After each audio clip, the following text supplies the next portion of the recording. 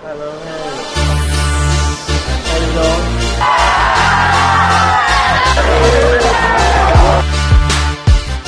in yourself, pursuing your dream, never give up.